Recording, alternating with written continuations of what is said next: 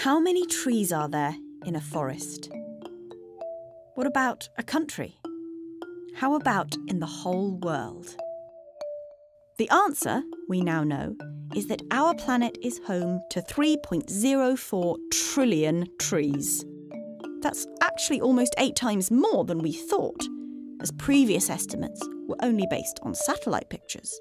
But now, we have data not just on how much land is covered in forest, but how dense those forests are as well. Measurements were collected by thousands of people out counting trees in forests all over the world. The average density of trees at each location is represented by the height of the green lines.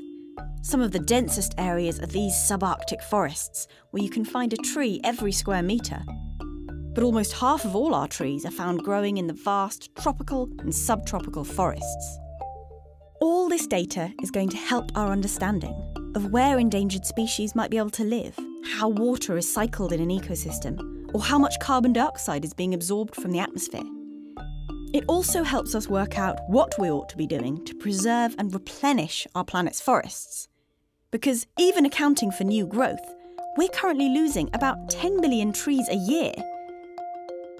At the moment, there are about 400 trees for every person on Earth but they're disappearing at a rate of 1.4 trees per person every single year.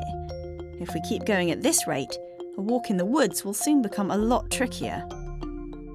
Thousands of years ago, before human civilization took hold, the Earth had almost twice as many trees as it does now. Most of Europe, for example, was one big forest. Groups all over the world are working on planting trees and restoring natural habitats. This new data will make their targets more accurate. And it will certainly change our fundamental understanding of our planet that we now know we share with 3.04 trillion trees.